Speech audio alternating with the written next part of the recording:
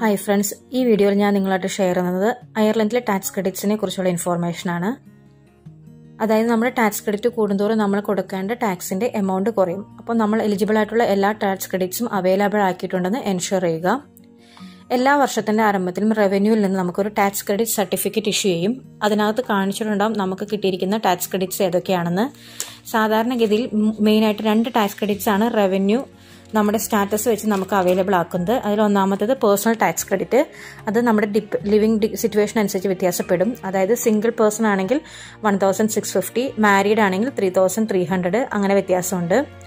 അത് നമുക്ക് ഷെയർ ചെയ്യാവുന്നതാണ്. ബിറ്റ്വീൻ സ്പൗസസ് നമുക്ക് ഷെയർ ചെയ്യാം. അത് നമ്മൾ കമ്പൈൻഡ് ടാക്സേഷൻ ചെയ്യുന്നവർക്ക് അങ്ങോട്ടും ഇങ്ങോട്ടും മാറ്റിയിടാവുന്നതാണ്.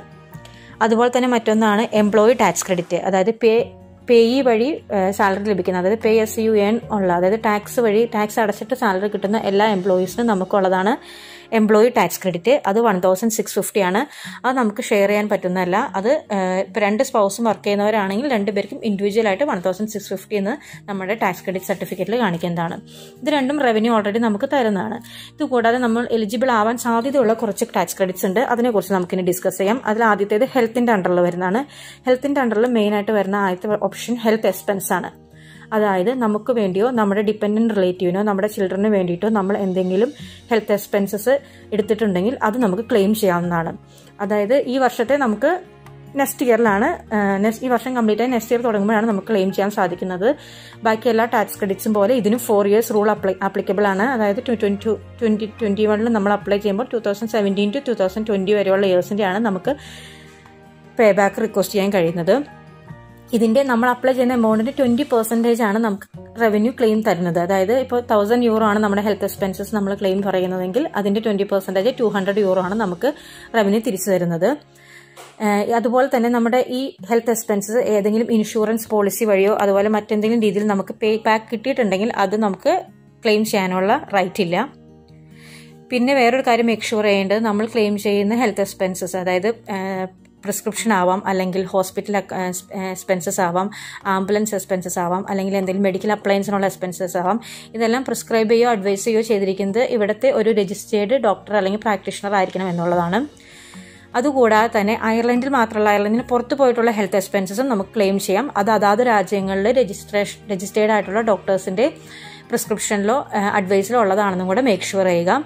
അതുപോലെ അയർലൻഡിൽ ലഭ്യമാകാത്ത ഒരു ഹെൽത്ത് സർവീസിന് വേണ്ടിയിട്ടാണ് നമ്മൾ പുറത്തു പോകുന്നതെങ്കിൽ അതിന് വേണ്ടിയിട്ടുള്ള ട്രാവൽ എക്സ്പെൻസും അക്കോമഡേഷൻ എക്സ്പെൻസും ക്ലെയിം ചെയ്യാം. അതിനോടൊപ്പം തന്നെ ഒരാൾ കൂടെ സഞ്ചരിക്കേണ്ടതായിട്ട് ഉള്ള സിറ്റുവേഷൻ ആണെങ്കിൽ ആ കൂടെ വരുന്ന ആളുടെ ഹെൽത്ത് എക്സ്പെൻസും ട്രാവൽ എക്സ്പെൻസസും നമുക്ക് ക്ലെയിം ചെയ്യാവുന്നതാണ്.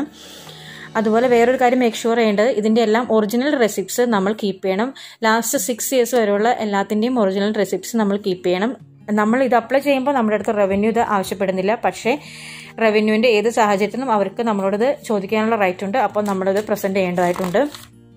അതൊന്നുകിൽ നമ്മുടെ കറക്റ്റ് പേപ്പറായിട്ട് തന്നെ റെസിപ്റ്റ്സ് ആയിട്ട് തന്നെ കീപ്പ് ചെയ്യാം. അല്ലെങ്കിൽ റെസിപ്റ്റ്സ് ട്രാക്കർ ആപ്പ് വഴിയായിട്ട് റവന്യൂവിന്റെ റെസിപ്റ്റ്സ് ട്രാക്കർ ആപ്പ് വഴിയായിട്ട് നമുക്ക് സ്റ്റോർ ചെയ്ത് വെക്കാം. അത് വളരെ ഹാൻഡിയാണ് അതിനെക്കുറിച്ചുള്ള ഇൻഫോർമേഷനും കമ്മിങ് ഡേയ്സിൽ ഞാൻ അപ്ഡേറ്റ് ചെയ്യുന്നതായിരിക്കും. അതാണ് ഹെൽത്ത് എക്സ്പെൻസസ് പിന്നെ ഹെൽത്തിന്റെ അണ്ടറിൽ വരുന്ന നഴ്സിംഗ് ഹോം എക്സ്പെൻസ് നമ്മുടെ ആരുടെയെങ്കിലും നഴ്സിംഗ് ഹോം എക്സ്പെൻസ് നമ്മളാണ് എടുക്കുന്നതെങ്കിൽ അത് നമുക്ക് ക്ലെയിം ചെയ്യാൻ സാധിക്കും. അതുപോലെ മെഡിക്കൽ ഇൻഷുറൻസ് റിലീഫ് എന്തെങ്കിലും മെഡിക്കൽ ഇൻഷുറൻസ് ഉള്ളവർ സാധാരണ അറ്റ് സോഴ്സിൽ തന്നെ അവർ അതിന്റെ ടാക്സ് റിലാക്സേഷൻ അപ്ലൈ ചെയ്യാറുണ്ട്. ഇൻ കേസ് അത് ചെയ്തിട്ടില്ല അല്ലെങ്കിൽ നമ്മുടെ എംപ്ലോയർ ആണ് നമ്മുടെ പ്രീമിയം പേ ചെയ്യുന്നതെങ്കിൽ നമുക്ക് അതും ഇവിടെ ടാക്സ് റിലീഫിന് വേണ്ടിയിട്ട് അപ്ലൈ ചെയ്യാവുന്നതാണ്. പിന്നെ ഉള്ളത് ബ്ലൈൻഡ് പേഴ്സൺ ആയിട്ടുള്ളവർക്കുള്ള ടാക്സ് ക്രെഡിറ്റ് അതുപോലെ ഗൈഡൻസ് ഡോഗ് ഉള്ളവർക്കുള്ള അലവൻസ് പിന്നെ ഉള്ളത് ഇൻകം കണ്ടിന്യൂവൻസ് അതായത് ഇൻകം പ്രൊട്ടക്ഷൻ പോലെയുള്ള സാലറി പ്രൊട്ടക്ഷൻ പോലുള്ള എന്തെങ്കിലും സ്കീം ഉള്ളവർക്കും അതിന്റെ ടാക്സ് ക്രെഡിറ്റിന് അപ്ലൈ ചെയ്യാവുന്നതാണ്.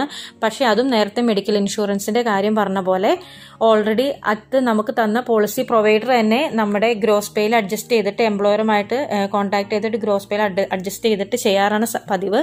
ഇൻ കേസ് അവർ വിട്ടുപോയിട്ടുണ്ടെങ്കിൽ ജസ്റ്റ് അവരെ കോൺടാക്ട് ചെയ്ത് മേക്ക് ഷുവർ ചെയ്യുക അല്ലെങ്കിൽ നമുക്ക് തന്നെ നേരിട്ട് ഇതുവഴി അപ്ലൈ ചെയ്യാവുന്നതാണ്. പിന്നെ അസിസ്റ്റൻസ് ഡോഗ് ഉള്ളവർക്ക് അസിസ്റ്റൻസ് ഡോഗ് അലവൻസ് ഇത്രയുമാണ് ഹെൽത്ത് ഹെൽത്തിൽ വരുന്നത്.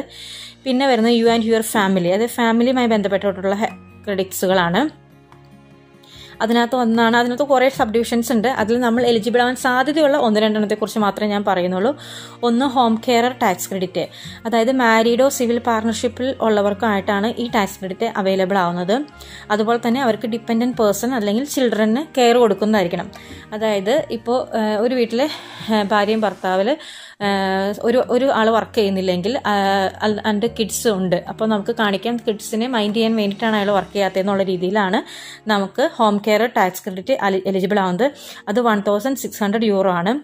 ഇനി പൗസ് വർക്ക് ചെയ്യുന്നുണ്ട്. പക്ഷേ അയാളുടെ സാലറി സെവൻ തൗസൻഡ് ടു ഹൺഡ്രഡിൽ പെർ ആനത്തിൽ താഴെയാണെങ്കിൽ നമുക്ക് ഈ വൺ തൗസൻഡ് സിക്സ് ഹൺഡ്രഡ് തന്നെ കിട്ടും. അതേപക്ഷം സെവൻ തൗസൻഡ് ടു ഹൺഡ്രഡിൽ കൂടുതൽ പെർ ആനും സാലറി ഉള്ള ആളാണ്.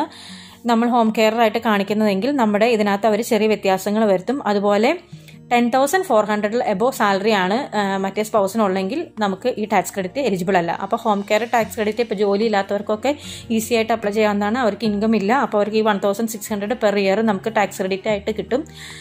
ഇൻ കേസ് സ്മോൾ ഇൻകം ഉള്ളവർക്ക് സെവൻ തൗസൻഡ് ടു ഹൺഡ്രഡ് താഴെയുള്ളവർക്ക് ആണിത് കിട്ടുന്നത്. അതുപോലെ ഹോമിൽ വരുന്ന ഫാമിലിയിൽ വരുന്ന അടുത്ത ടാക്സ് ക്രെഡിറ്റ് ആണ് ട്യൂഷൻ ഫീസ് തേർഡ് ലെവൽ എഡ്യൂക്കേഷന് വേണ്ടിയിട്ട് നമ്മൾ നമുക്ക് വേണ്ടിയോ അല്ലെങ്കിൽ നമ്മളെ ഡിപ്പെൻഡ് ചെയ്തിരിക്കുന്ന ആർക്ക് വേണ്ടിയോ നമ്മൾ എക്സ്പെൻസ് ചെയ്തിട്ടുണ്ടെങ്കിൽ അത് നമുക്ക് ക്ലെയിം ചെയ്യാവുന്നതാണ്. അതും per year per person seven thousand ആണ് മാക്സിമം നമുക്ക് ക്ലെയിം ചെയ്യാൻ എലിജിബിൾ ആയിട്ടുള്ള എമൗണ്ട് അതുപോലെ വരുന്നതാണ് incapacitated child child tax relief അതായത് നമ്മുടെ കുടുംബത്തിലോ അല്ലെങ്കിൽ നമ്മൾ ഏതെങ്കിലും തരത്തിൽ ഇൻകപ്പാസിറ്റേറ്റഡ് ഫിസിക്കലി ഓർ മെന്റലി ആയിട്ടുള്ള കുട്ടികൾക്ക് സംരക്ഷണം നൽകുന്നുണ്ടെങ്കിൽ നമുക്ക് ഈ ടാക്സ് ക്രെഡിറ്റിന് അപ്ലൈ ചെയ്യാവുന്നതാണ്. അതിന് ഡോക്ടേഴ്സിന്റെ ഒരു ഡിക്ലറേഷൻ ഫോമും നമുക്ക് സബ്മിറ്റ് ചെയ്യേണ്ടതുണ്ട്. അതുപോലെ തന്നെ I C C one I C C two എന്നുള്ള ഫോമും കൂടെ നമ്മൾ കംപ്ലീറ്റ് ചെയ്ത് റവന്യൂവിന് സബ്മിറ്റ് ചെയ്യേണ്ടതായിട്ടുണ്ട്. അടുത്തതായിട്ട് ഡിപ്പെൻഡന്റ് റിലേറ്റീവ് ടാക്സ് ക്രെഡിറ്റ് ആണ്. അതായത് നമ്മുടെ എക്സ്പെൻസിൽ ഏതെങ്കിലും റിലേറ്റീവിന്റെ എക്സ്പെൻസ് മീറ്റ് ചെയ്യുന്നുണ്ടെങ്കിൽ അത് നമുക്ക് ക്ലെയിം ചെയ്യാവുന്നതാണ്. അവരുടെ എവറിഡേ എക്സ്പെൻസിനുള്ള കോസ്റ്റ് നമ്മളാണ് കൊടുക്കുന്നതെങ്കിൽ. ഈ dependent relative tax dependent relative എന്ന് പറയുന്നത് നമ്മുടെ സ്വന്തം റിലേറ്റീവോ സ്പൗസിന്റെ റിലേറ്റീവോ ആവാം. അവർക്ക് പ്രായാധിക്യം കൊണ്ടോ അല്ലെങ്കിൽ മറ്റേതെങ്കിലും അസുഖം കൊണ്ടോ അവരുടെ എക്സ്പെൻസ് മീറ്റ് ചെയ്യാൻ പറ്റാത്ത സാഹചര്യത്തിൽ നമ്മളാണ് അവരുടെ സപ്പോർട്ട് ചെയ്യുന്നതെന്ന് കാണിച്ചാൽ നമുക്ക് ഈ ക്ലെയിം അവൈലബിൾ ആക്കാവുന്നതാണ്. അതുപോലെ തന്നെയുള്ള കാര്യം ഈ പറയുന്ന ഡിപ്പെൻഡന്റ് റിലേറ്റീവ് അയർലൻഡിൽ തന്നെയുള്ള ആളായിരിക്കണം നിർബന്ധമില്ല. അവർ നാട്ടിലോ എവിടെയാണെങ്കിലും നമ്മളാണ് മീറ്റ് ചെയ്യുന്നത് എന്നുള്ള പ്രൂഫ് മതി. ഈ പറയുന്ന പ്രൂഫ് നമ്മൾ ഇത് ക്ലെയിം ചെയ്യുമ്പോൾ നമ്മളോട് റവന്യൂ ചോദിക്കുന്നില്ല. പക്ഷേ വേറെ ഏതെങ്കിലും കാരണം കൊണ്ട് ചോദിച്ചാൽ നമ്മൾ സബ്മിറ്റ് ചെയ്യാൻ ബാധ്യതരാണ്. ഈ എമൗണ്ട് ഒരു ഡിപ്പെൻഡിന് ട്വന്റി ട്വന്റി വൺ മുതൽ two hundred and forty five euro ആണ്. കഴിഞ്ഞ വർഷം വരെ സെവന്റി യൂറോ ആയിരുന്നു.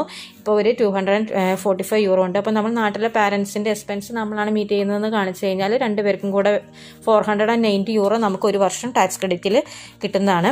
അതുപോലെ തന്നെ അവരുടെ ഇൻകം ഒന്നെങ്കിൽ ഇൻകം ഇല്ലാത്തവരോ അല്ലെങ്കിൽ income less than fifteen thousand and seven hundred and ഫോർട്ടിയിൽ താഴെ per annum euro sorry fifteen thousand seven hundred and forty യൂറോയിൽ താഴെ പെർ ആനം ഇൻകം ഉള്ളവരും ആയിരിക്കണം. അങ്ങനെയാണെങ്കിൽ നമ്മൾ ഈ ടാക്സ് ക്രെഡിറ്റിനും എലിജിബിൾ ആണ്. അത്രയുമാണ് നമ്മുടെ ഫാമിലി ടാക്സ് ക്രെഡിറ്റ്സിൽ വരുന്നത്.